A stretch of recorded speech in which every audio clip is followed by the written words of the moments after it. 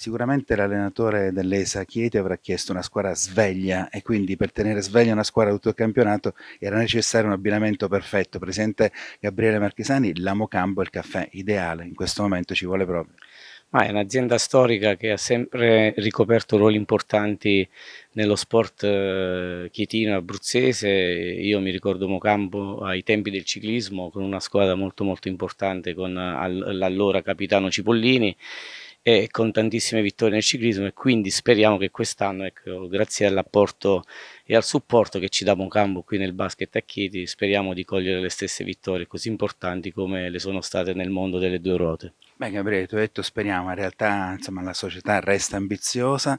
e questo abbinamento con la Mocambo, che giustamente hai ricordato è sempre stato vicino allo sport per anni e anni,